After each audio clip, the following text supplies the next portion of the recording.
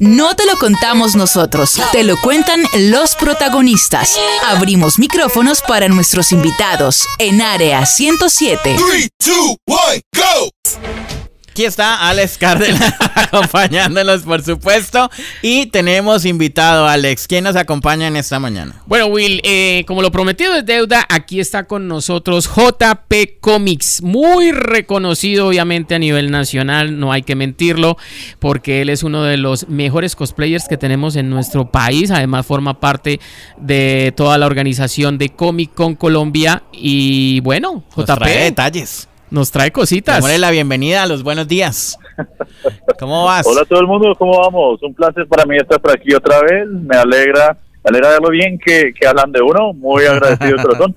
Y nada, pues muy contentos, todos trabajando ahorita duro con lo de Comic Con, que ya es en una semana. Entonces, pues nada, ahí vamos, ahí vamos a todas. Bueno, JP, cuéntanos, eh, queremos empezar digamos, con una noticia que se reveló esta semana y que para muchos les encanta llevarse siempre un recuerdo de las Comic Con y es el kit oficial, ya salió. ¿Qué tiene ese kit? Efectivamente, tenemos un kit que se anunció el día de ayer. Lo curioso es que varios de los objetos que están ahí están incluidos en el Full Pass y parece que la gente no le prestó mucha atención en su momento cuando lo dijimos, pero sí, habemos afiche, habemos camiseta, habemos toreback, habemos eh, figuras coleccionables, habemos cómics o sea, siempre está bien completa la vaina. Perfecto, vea, es que es un kit. Y sí, a veces la gente como que piensa de que el full pass chévere porque voy a poder estar en todos lados y, entro a Comic Con y salgo sin ningún problema y todo esto. Pero se les olvida que eso va con regalito. Venga, Alex, es que de pronto hay personas que nos están escuchando a esta hora y están escuchando a JP y de pronto están como iniciando apenas, como conociendo acerca de este mundo geek. Hablemos un poquito de todo lo que sucede en este espacio de Comic Con.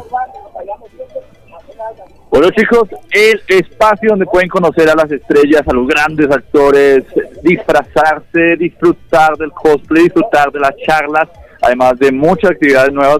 Este año, por ejemplo, estamos lo más de contentos con las bodas. Parece que eh, algunas bodas han sido seleccionadas para tener su evento especial allá, para casarse a la, no sé, a la luz de Hyrule o bajo la estrella de Andil. Ustedes díganos, nosotros lo hacemos. Comic Con es este espacio donde los fans, donde los actores, donde los conferencistas, todos nos reunimos para poder compartir nuestras pasiones.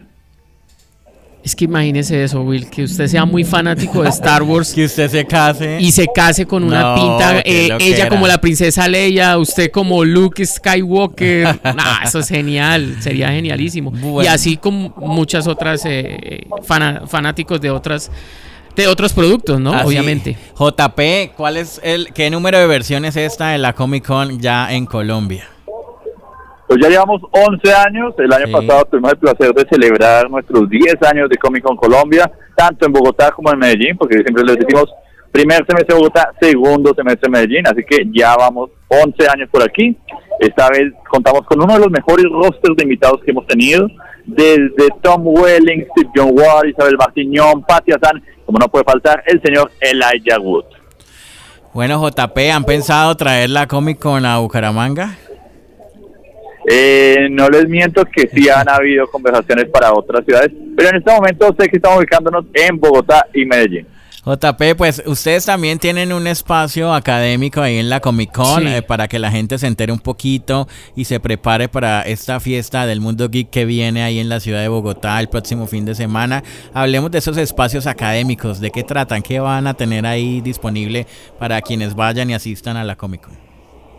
Bueno, el gran profesor Leguizamón, quien es el que está encargado del área pedagógica, siempre llega cada año con las conferencias de los mismos fanáticos porque es que esto lo presenta la misma gente que ama Comic Con, que ama sus hobbies, que ama estas pasiones. Entonces ahí tienes biología Pokémon, física de Iron Man, aplicaciones reales de bici, o sea, hay un montón de detalles. Hay más de 100 charlas a lo largo del a lo largo del fin de semana.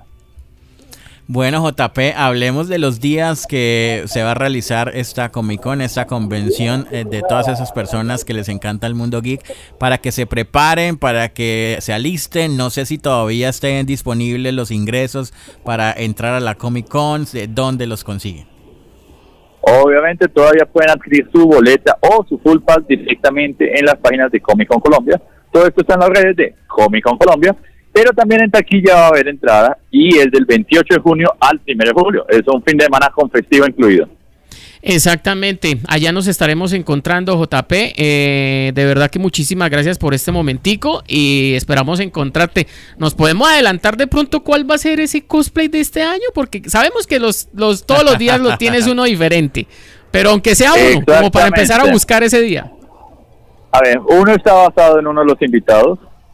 El otro, obviamente, es una variante del Doctor Strange, porque no hay Comic Con mío sin que no haya al menos un Doctor Strange, y para eso es que existe el multiverso.